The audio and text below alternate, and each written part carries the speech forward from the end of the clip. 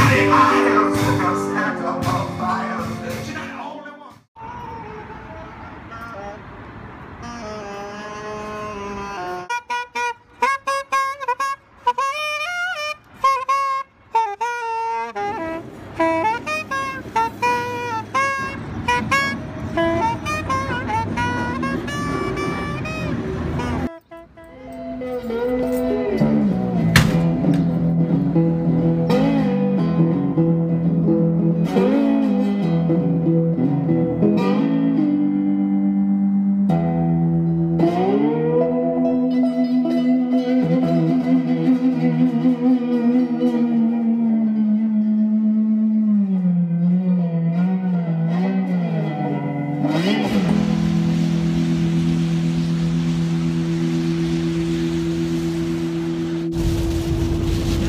another round of rain. I'm used to it at this point.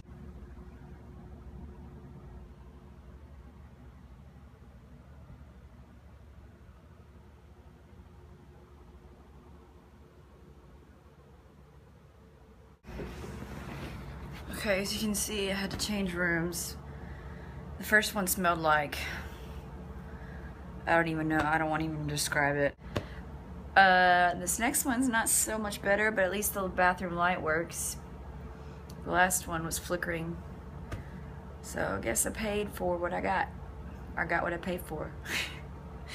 right off the interstate. I mean, it's got a fancy name, Oak Lodge Suites. You would think it would be a little nice. Hey, I got a place to stay in Beaumont, Texas. Two hours from Con Conroe tomorrow, so not much of a drive tomorrow, but I'm glad to be in a room already at six o'clock and I want to like get some writing done and you know really get focused for this next like five day in a row run of shows so this will be nice night to soak in my last you know